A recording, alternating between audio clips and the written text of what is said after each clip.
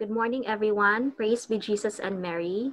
I am Miss Melody A. Ritazo, the Library Coordinator, and this morning I will be orienting you on the resources and services that are available in the library. The following are the contents for this presentation. First, the library staff, virtual tour of the library, how to access the online catalog, and what are the available online databases and the online services. First, the library staff. Graduate School Librarian, Annabel P. Acedera. The Library Coordinator, Melody A. Retazo.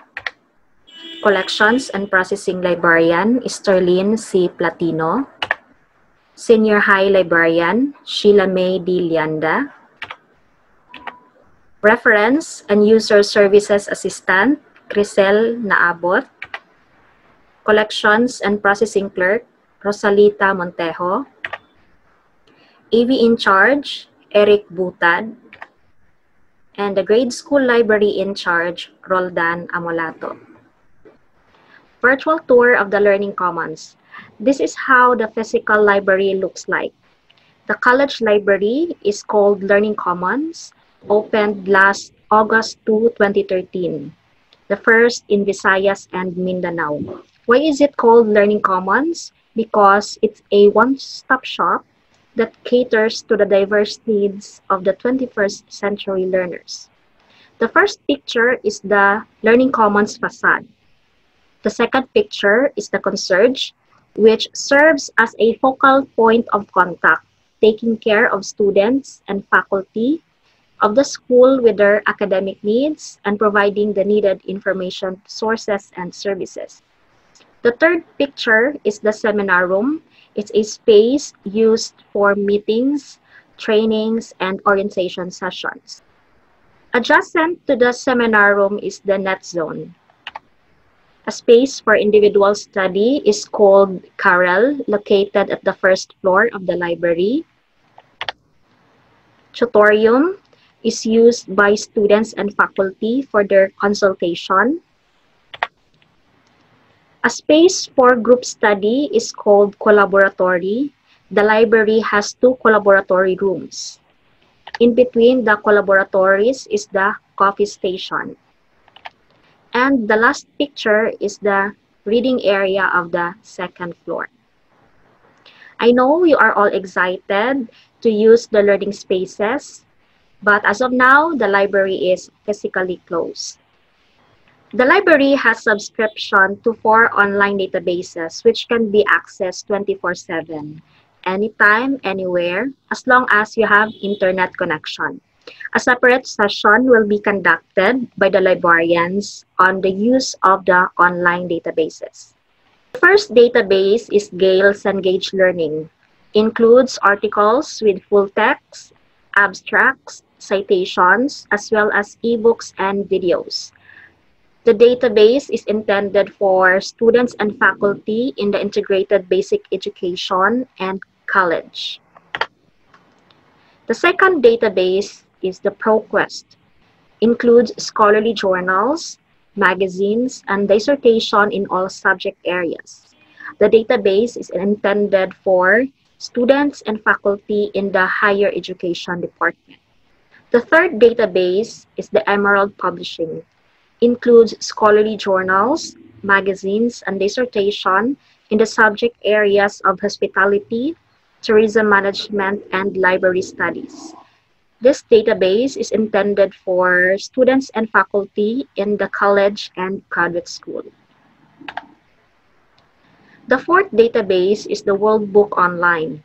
Includes journal articles, ebooks, educator tools, audio clips, and downloadable videos on various disciplines covering the social sciences, humanities, health-related sciences, and contemporary issues. This database is intended for students and faculty in the integrated basic education and college.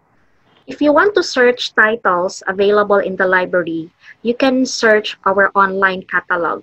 Just remember the URL, tinyurl.com slash library online catalog. Searching the online catalog is very easy. Just type the URL and click the Lourdes College hyperlink. In the online catalog, you can perform several searches. You can perform keyword search, title search, author search, and subject search. To search title, just type the title, for example, Understanding the Self, and click Title. The following are the search results. In the search results, you can select the title that you want to read and then copy the call number. Although the library is physically closed, the library offers the following online services. First, Ask a Librarian, Library Research Assistance or what we call LIRA, Book Borrowing, Library Scanning, Open eBooks Alert, and Information Literacy Sessions. First, ask a librarian service. If you have any concerns, please feel free to ask the librarians through email and chat messenger. The email address of the library is learningcommonslc at gmail.com. So that you will know updates from the library, please like and follow our official Facebook page that is at Learning Commons LC. For your research needs, ask LIRA or Library Research Assistance. To access LIRA, please take note of the URL tinyurl.com slash asklira. If you will request research assistance, the library requires you of your personal details. This includes your complete name, email address, the contact number is optional, and then department, program, and your designation. After you have entered the required fields, you will be asked then what kind of assistance do you need. For example, you need assistance to library resources. After that, you have to specify what type of resource do you need. Is it ebooks, videos, e-journals, and books? After you have specified the type of resources, you need to indicate the titles or topics. For example, ebooks, developing self-skills, books, understanding the self, e-journals, emotion management, and videos on life skills. You will be asked also if the video is downloaded or just the links. After that, click Submit. Expect a response within one to two working days or longer in cases of multiple requests. Book borrowing for students will start on August 17. So here's how. First, you need to search for the title of the book using the library online catalog. Second, send request through LIRA and then third, you will be notified when the books are ready for pickup.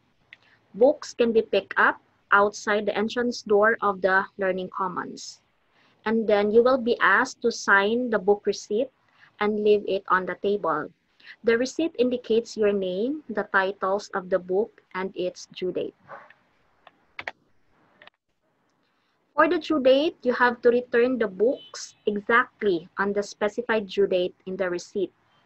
To return books, place the books with a book receipt for each book in the book return box found at the entrance door of the Learning Commons. And then an email will be sent confirming the return of the books. Another service that we will offer starting August 3 is the library scanning. The service is available to Lourdes College community. Scanning request applies only to books and journals that are available in the Learning Commons.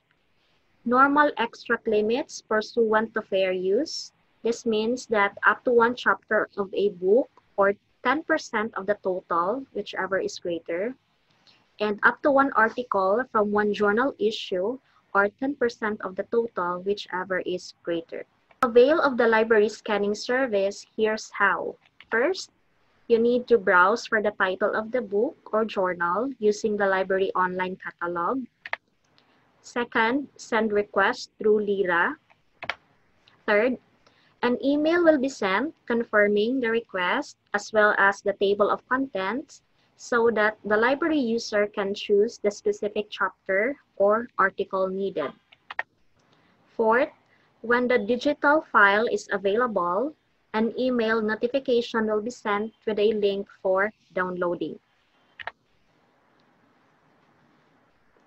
The library provides open ebooks alert where free downloadable ebooks are posted every week in the Learning Commons Facebook page. A training on the use of Destiny Online Catalog is scheduled August 2020. Next session is on the use of Destiny Quest that will be on October 2020. For the grade 12 students, a training on the use of World Book Online is scheduled on September 2020. Same also for the Gale database that will be on September 2020. For your attendance in this library orientation, kindly fill out the LC Patron form.